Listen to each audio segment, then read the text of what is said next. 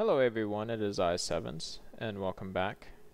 This is Module 1 with Heat and Materials. Point 2, what it all means. In the last episode of this module, we were uh, talking about this example here. High heat, going over here, uh, moving, and what that means. But in this one, we're going to look at more, not real life, but like real Oni life implications of all this. I had someone in the comments on the last one talking about conducting heat as a better way of articulating how heat moves, and I agree with that.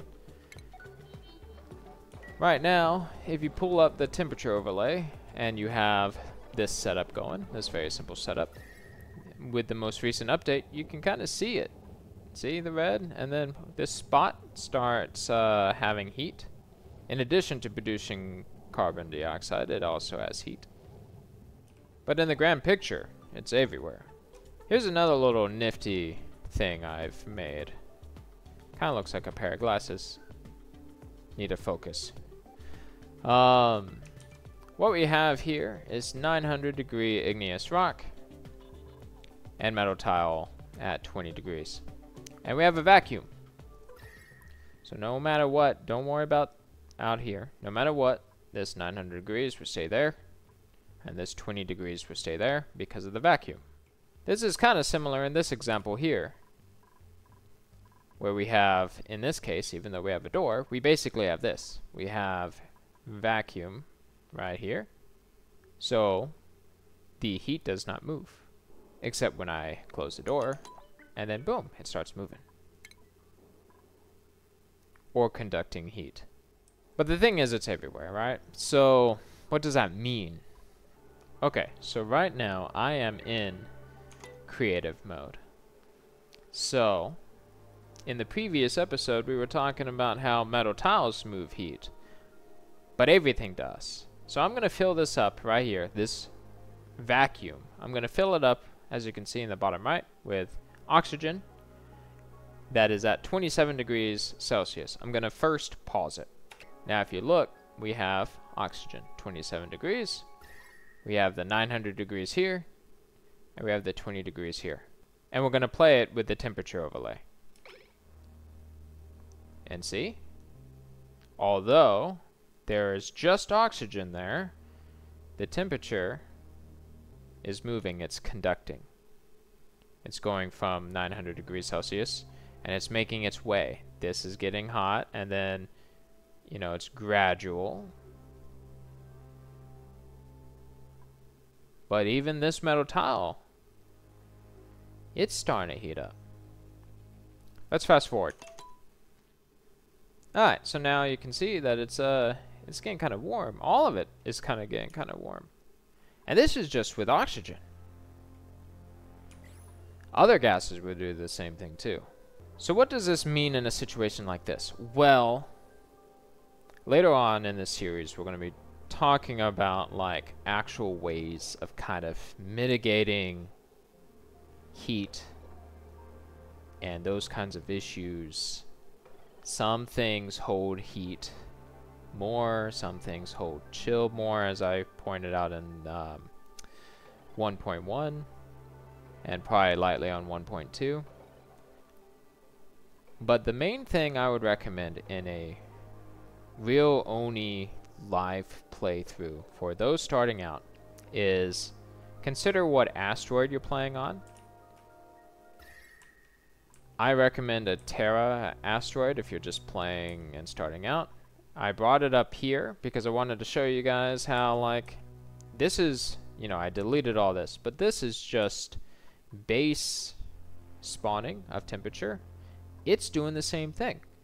This sulfur randomly 30 degrees Celsius and this mafic rock at 24 degrees. They're butting heads. They're trying to reach as one commenter said a state of state of equilibrium Right here, you can even see it doing it. And this is with me deleting it. this polluted oxygen, and even this copper. Although it might take a good bit of time, they're doing the same thing. So when you have a colony set up, you know, kind of sort of like this, and in another module we will also talk about like base design setups, you know, that'll be fun stuff. I'm excited about that. But, you know, to kind of touch on it now, I would recommend building these kinds of machines. The ones that, uh, you know, they run and um, they end up conducting heat. You can see it here. It's not doing it now because there's no coal in there, but I recommend building these further away. You definitely want to build them away from your plants, both, you know, plants that you can eat, as well as just plants that can grow and give you other materials.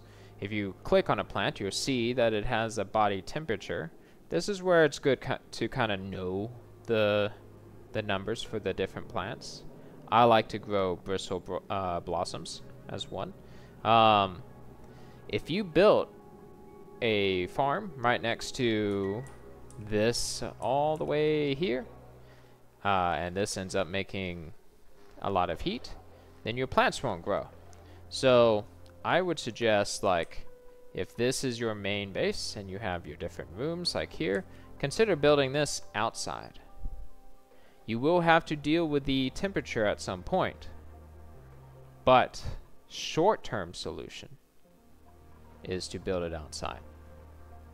One final note I would make uh, for both this series as well as your exploration into Oni itself is that throughout the game, a lot of the things that uh, that you do to solve problems will just cause other problems. That's part of the game. Uh, but there's nothing wrong with having a temporary solution. Sometimes your temporary solutions may solve something temporarily, hence the name temporary solutions, but then later on, they can kind of blow up in your face, and you're going to have to do massive damage control. With this series, we will try and make sure that doesn't happen. So to recap, the main thing is that everything can move temperature or conduct heat, conduct chill, move it around, especially buildings. Buildings that run. Even this battery. This battery right here. Like, it may not be showing it, but it, it can also give off heat. Heat production, 500 DTUs. So just keep that in mind as you are going on in Oni. And remember in the back of your mind that when you explore different areas or build different buildings, you're going to have to eventually circle back with that temperature. And don't forget the importance of building an insulated tile. This will really help you with being able to block the temperature from outside and inside. But keep in mind that if you have a bunch of hot buildings inside, then it's just going to make the temperature inside even hotter. I love your guys' feedback. Put comments down, corrections that I can make, terminology that we can change, and we can all figure this out together. I'm Sevens of Brute Force Systems Inc., and I'll see you guys in the next one.